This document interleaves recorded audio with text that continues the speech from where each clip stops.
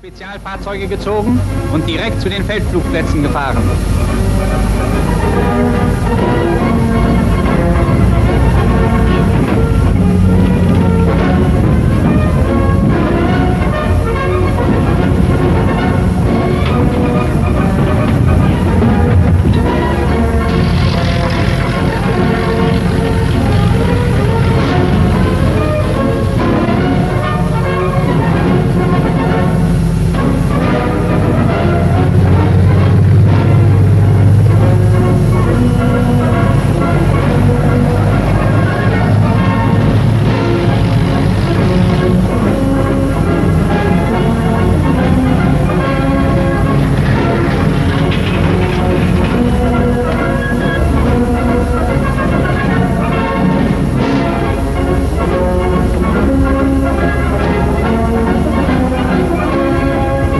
Wagen, von dem aus die Flugzeuge unmittelbar mit Brennstoff versehen werden, wird gefüllt.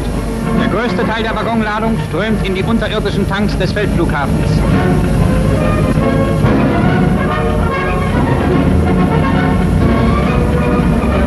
Der Rest wird in Benzinfässer abgefüllt.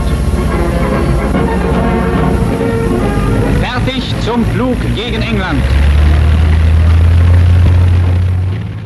Auf einem fahrbaren Schienengestell wird sie unmittelbar zur Ausgangsstation der Küstenbahn gebracht.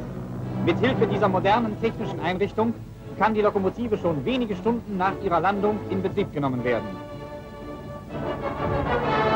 Ein Güterzug für die El Alamein Front wird zusammengestellt.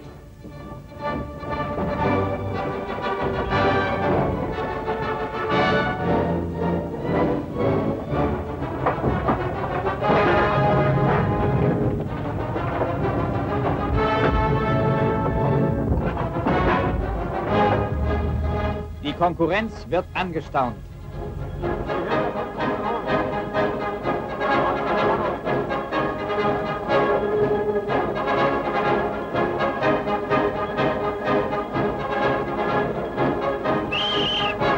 Auf der ägyptischen Küstenbahn rollt der erste deutsche Güterzug nach dem Osten.